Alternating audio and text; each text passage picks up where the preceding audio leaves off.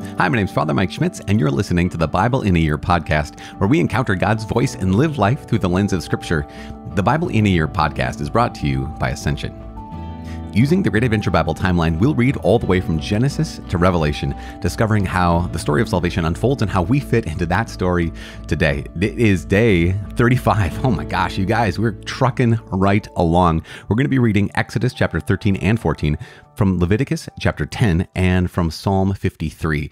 Um, I'm always reading from the Revised Standard Version, Catholic edition, and as well as using the Great Adventure Bible from Ascension, which is so good, so helpful for us because it has the periods, it has like the extra details. We've got some notes, got some maps, got all good things in there, as well as following along this Bible in a Year reading plan that you can get for free um, from ascensionpress.com slash Bible in a year. That's ascensionpress.com slash Bible in a year. If you have not yet subscribed to this podcast, I am not sure how you do it. How do you continue to come back here 35 days in a row? If you haven't subscribed already, you impress me. You impress me a lot. But without any further delay, let's get started. Exodus chapter 13 and 14. The Lord said to Moses, Consecrate to me all the firstborn, whatever is the first to open the womb among the sons of Israel, both of man and of beast, is mine. And Moses said to the people, Remember this day, in which you came out from Egypt, out of the house of bondage, for by strength of hand the Lord brought you out from this place. No leavened bread shall be eaten. This day you are to go forth in the month of Abib. And when the Lord brings you into the land of the Canaanites, the Hittites, the Amorites, the Hivites, and the Jebusites, which he swore to your fathers to give you, a land flowing with milk and honey. You shall keep this service in this month. Seven days you shall eat unleavened bread, and on the seventh day there shall be a feast to the Lord. Unleavened bread shall be eaten for seven days. No leavened bread shall be seen with you, and no leaven shall be seen with you in all your territory. And you shall tell your son on that day, It is because of what the Lord did for me when I came out of Egypt. And it shall be to you as a sign on your hand and as a memorial between your eyes, that the law of the Lord may be in your mouth. For with a strong hand the Lord has brought you out of Egypt. You shall therefore keep this ordinance at its appointed time from year to year. And when the Lord brings you into the land of the Canaanites, as he swore to you and to your fathers, and shall give it to you, you shall set apart to the Lord all the first that opens the womb. All the firstlings of your cattle that are males shall be the Lord's. Every firstling of a donkey you shall redeem with a lamb, or if you will not redeem it, you shall break its neck. Every firstborn of man among your sons you shall redeem, and when in time to come your son asks you, What does this mean?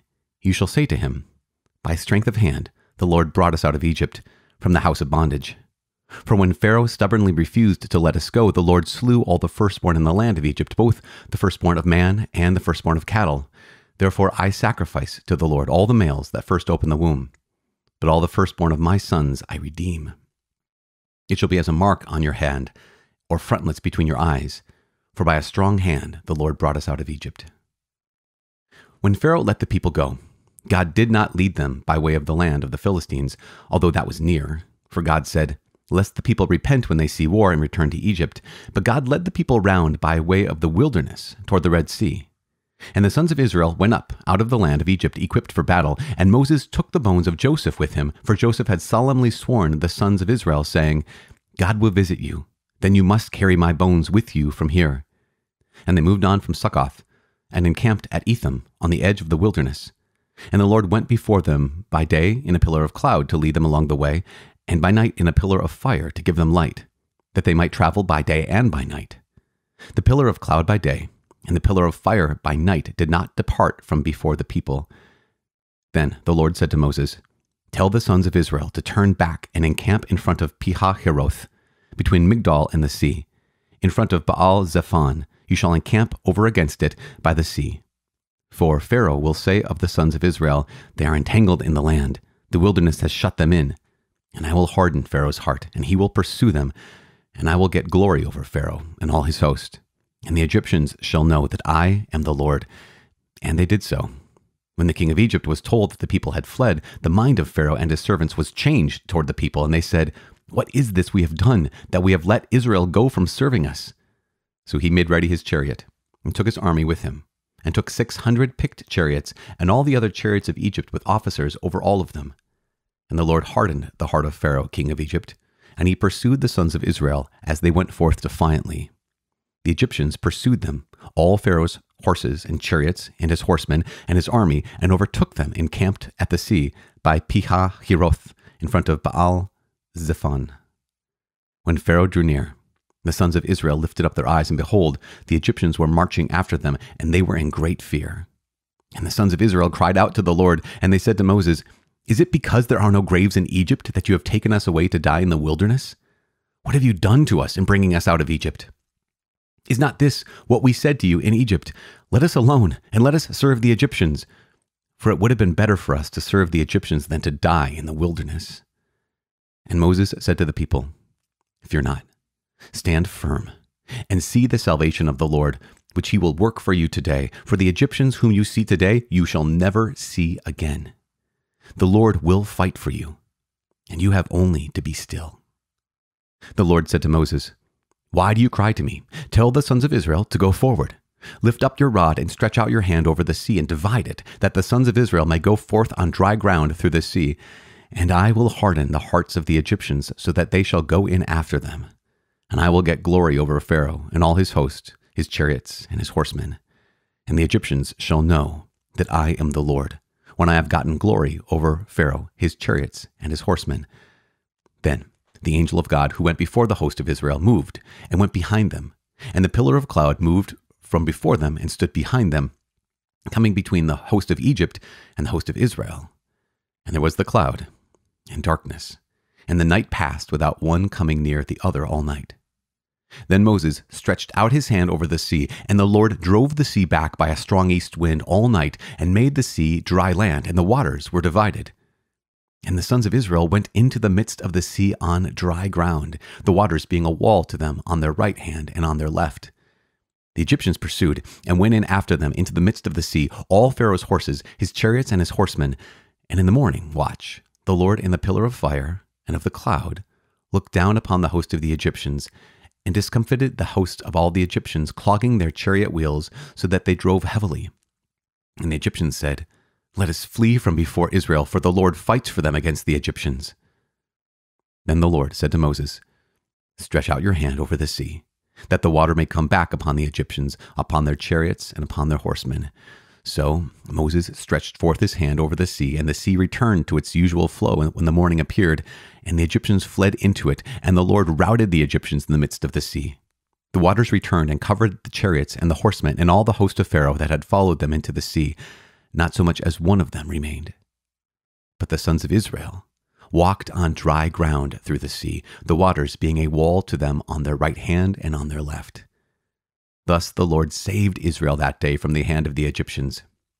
And Israel saw the Egyptians dead upon the seashore, and Israel saw the great work which the Lord did against the Egyptians. And the people feared the Lord, and they believed in the Lord and in his servant Moses.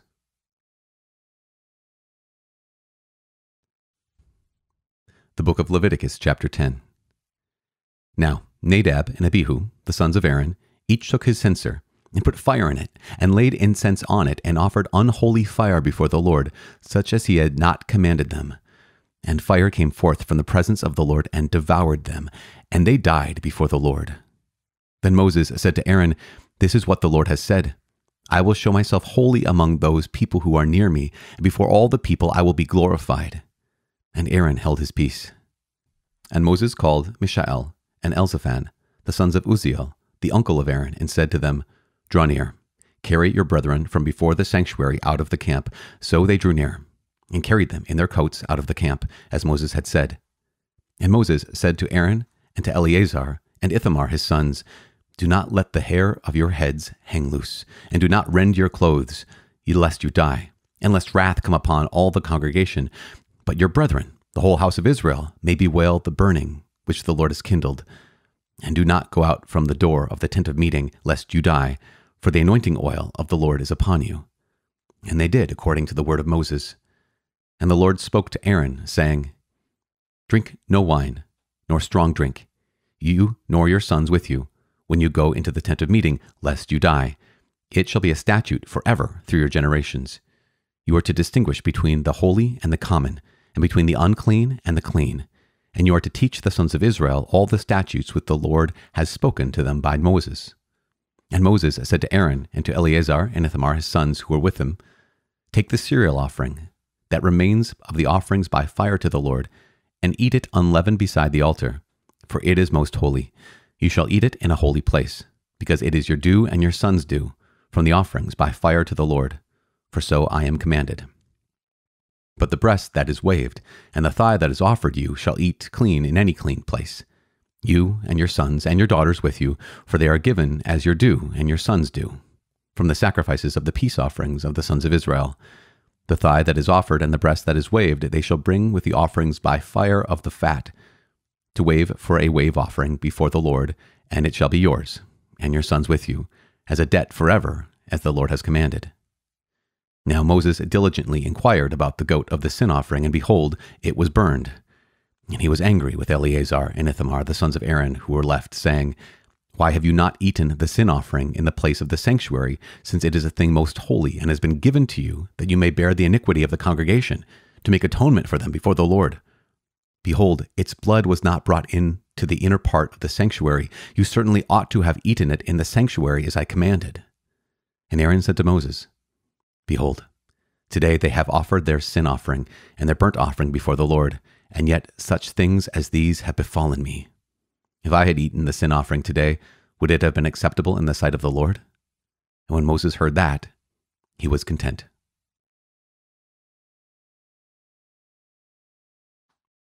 Psalm 53 Denunciation of Godlessness to the choirmaster, according to Mahalath, a maskil of David. The fool says in his heart, There is no God. They are corrupt, doing abominable iniquity. There is none that does good. God looks down from heaven upon the sons of men to see if there are any that are wise, that seek after God. They have all fallen away. They are all alike depraved. There is none that does good, no, not one.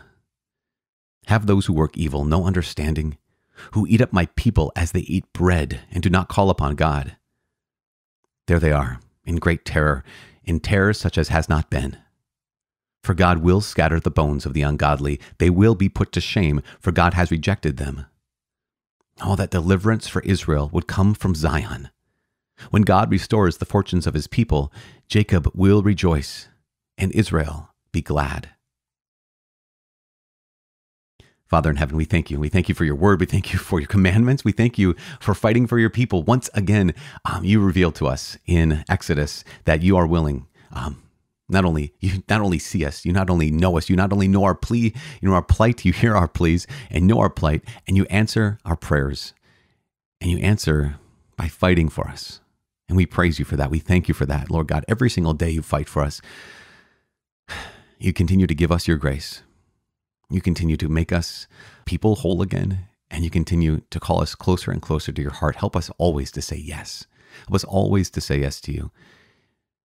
We ask this prayer through the intercession of the Blessed Virgin Mary, through the intercession of all the saints. We make this prayer in the mighty name of our God and Lord Jesus Christ. In the name of the Father, Son, Holy Spirit. Amen. Man, oh gosh, there are so many things to, to, draw out. You know, when it comes to Leviticus, people think it can be dry. I mean, it's, it's repetitive a little bit, but it's not dry. This is the Lord revealing His His holiness. I mean, truly, um, all of the the the the commandments, all of the rules in the book of Leviticus, they're all about the Lord. They're all about His holiness. They're all about what true holiness is, how other, how other God is. I mean, that's what it is to be holy, is to be set apart you know, you can say something is holy if it's been blessed, right? It's been set apart, it's been consecrated. It's for our purpose now. And here is God who himself is the author of holiness because he is holiness. He's so fully other that here we have the sons of Aaron who come into the Lord's presence and they do whatever they want to do. They do what is not right. They do what God has not asked them to do. He's not commanded them to do this. And so they offered an unholy fire. And so the fire of the Lord, who is holy, consumes them. And sometimes we can hear some of these stories and we think, gosh, that seems so strange. They offered an unholy fire. What's that mean? And then that God's holy fire consumed them. Like, does that seem drastic? Does that mean, seem extreme? And we realize not at all. I mean, because in the new covenant, what has God done? He has become so close to us. He has drawn so near to us. We we are temples of the Holy Spirit. He's that close. But also, he has revealed himself in humility, in poverty.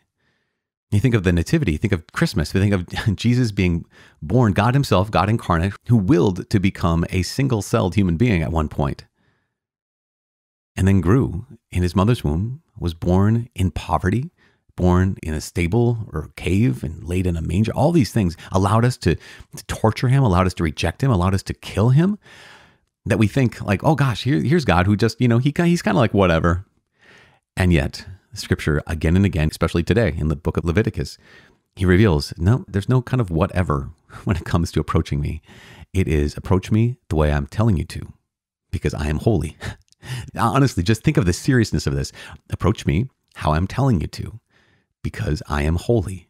And what if we did that when we went to Mass? What if we did that when we presented ourselves before the Lord in, in prayer? Is just to be able to say, Lord, it's true. It is true that you are holy. And therefore, we have this thing called the fear of the Lord. And again, fear of the Lord doesn't mean I'm afraid of God. The fear of the Lord is I'm taking God seriously.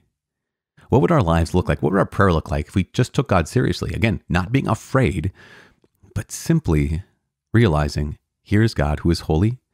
Here I dare to enter into his presence. That is remarkable. It, not only that, I dare enter his presence, but he is so I don't know, humble. He loves us so much that he wants you to enter his presence. Well, last note in Exodus today, man, here is the Lord's dramatic salvation of his people through the Red Sea. And there's this word, this word that's spoken to the people of Israel. The Lord fights for you. You have only to stand still. In this case, the Lord is fighting for you. You have only to stand still. If there's maybe a, a, word that I want to pick out of today's reading, I underline that in my Great Adventure Bible and write it down on my in my journal. I that's that's the word of the day. Just the Lord fights for you. You have only to keep still. Uh, there are some times when we're called to fight as well, or sometimes we're called to run, either toward the toward the fray or away from the fray. And there's some times when the Lord just says, "Nope, I am fighting for you. You stand straight." You stand still. You hold your position. We persevere because I'm fighting for you. And that's one of the reasons why we're praying for each other on this journey through the Bible is because uh, there's battles that are happening in every one of our lives. So please, please, with me, pray for each other. Let's um, please pray for me. I'm praying for you. Um, and maybe this is one of those days where we just need to get reminded stand still. The Lord is fighting for you right now and tomorrow's another day. My name is Father Mike, and I cannot wait to see you tomorrow, this next day. God bless.